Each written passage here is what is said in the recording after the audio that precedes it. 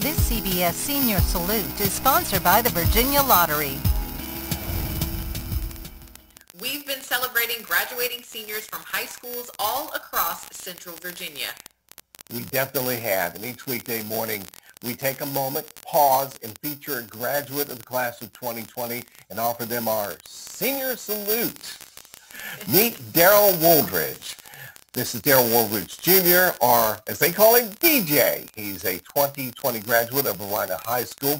During his senior year, he worked part-time as a teacher's aide for the Springers Academy, where he mentored children to prepare them for school.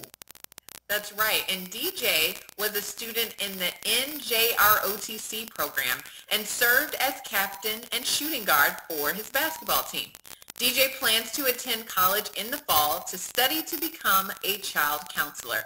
And his mom tells us the family is very, very proud of their sweet and caring young man.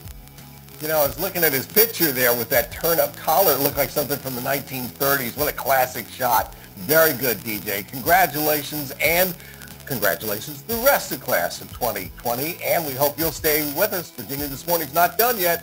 We'll be back after a real quick break.